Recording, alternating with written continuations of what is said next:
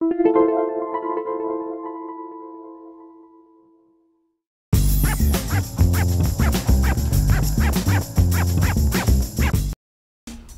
to My Long Island TV.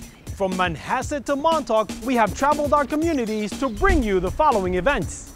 I'm your host, Waldo Cabrera. My Long Island TV starts now.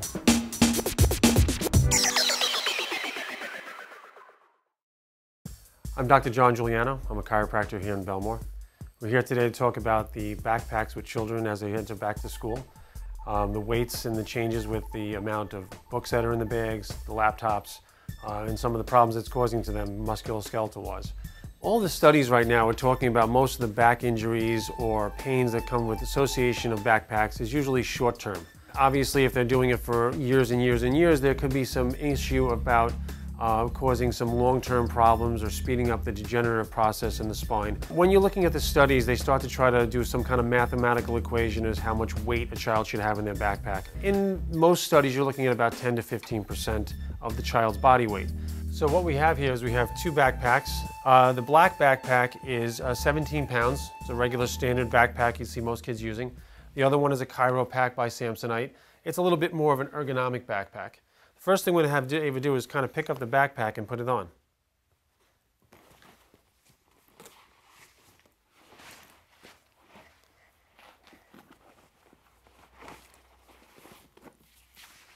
That was a little bit of a struggle, huh? Okay, well first thing we want to address is the way she picked up off the floor. Okay. What I want you to do is I want you to just kind of squat down like that with your legs and I want you to put the backpack in your arm and get it on your shoulder and now stand up. Using a little bit more of the weights, she's not bending over and causing herself to kind of bend at the waist and pick up. She bent and used her legs to pick up the bag. Now even though this bag is 17 pounds, she was able to get it up, but when you turn to the side, you can see how she's kind of struggling with it. Normally we want a backpack to be positioned a little bit more like this and a little tighter to the head. But at 17 pounds, if even if we have it packed up this way, when Ava stands up straight, she kind of falls back from the weight itself. It's just a little too much for a 75 pound girl. The red bag being a Chiropack, this is about a 10 pound bag. Right immediately when she gets this backpack on, you can see that this backpack sits a lot higher in her back. It's about our waist level, a little bit above it. We also have nice padded straps here about two inches. She has a chest band here, which will now help redistribute the weight and a waist back. The belt actually takes the backpack's weight and distributes it from her chest to her shoulders to her waist.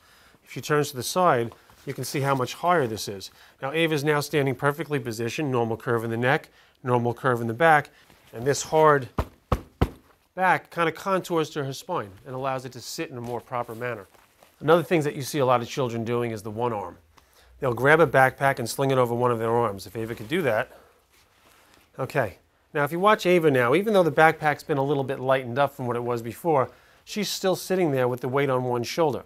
This causes her upper body to twerk in this fashion, if we exaggerate it, and to compensate so she doesn't fall over to the right, her body now has this curvature in here. Now this backpack also, even though I strapped it all the way down, is still sitting a little bit low. This is an inappropriate backpack for a child of her size. She might want to get a smaller one. You want to look for a backpack, the smallest one that you can find that fits her needs. You don't need to have something that's going to take you to the Adirondacks. Another thing that the parents can also do is have the child clean out the backpack. You know, I know in my kids that you can go through that backpack and three weeks later you find food, you find bottles of water, you find stuff they don't need, you find uh, books, you find just garbage. And you, every once a week, you should just kind of empty that backpack out.